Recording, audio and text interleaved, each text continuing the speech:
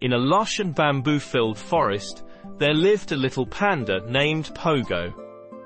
Pogo had big, round eyes as black as coal, and a soft, fluffy coat that was as white as snow.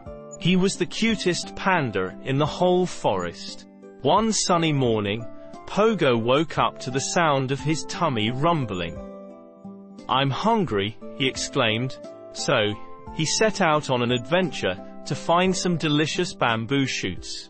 As Pogo hopped and skipped through the forest, he met a friendly squirrel named Squeaky. Hello Pogo, said Squeaky. What are you looking for? I'm looking for bamboo shoots, replied Pogo. My tummy is rumbling like a volcano. Follow me, said Squeaky. I know where there's a patch of the juiciest bamboo you've ever tasted.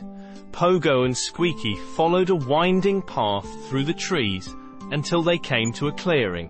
There, in the middle, was a huge clump of bamboo shoots just waiting to be eaten. Pogo grabbed a bamboo shoot with his sharp claws and took a big bite. Yum yum yum, he said.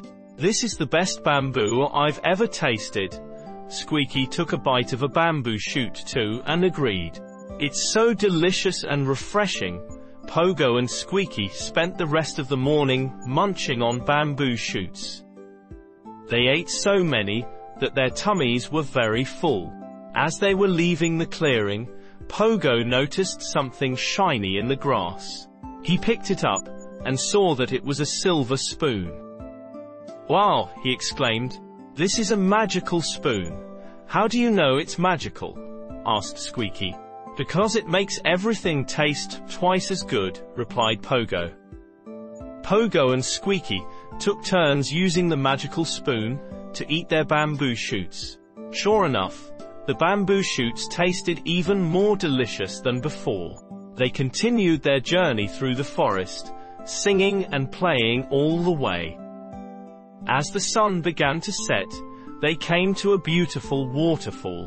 Pogo and Squeaky decided to take a swim in the cool water. They splashed and played until they were tired. Then, they climbed out of the water and dried off in the warm sunlight. As they were getting ready to go home, Pogo noticed a little bird sitting on a branch. The bird was singing a sad song. What's wrong, little bird? asked Pogo. I've lost my home, replied the bird. It was in a big tree, but the tree fell down in a storm. Don't worry, said Pogo. I'll help you find a new home. Pogo and Squeaky searched all over the forest for a new home for the little bird. Finally, they came to a tall, sturdy tree with lots of cozy nooks and crannies. This will be a perfect home for you, said Pogo to the bird. The bird was so grateful to Pogo and Squeaky.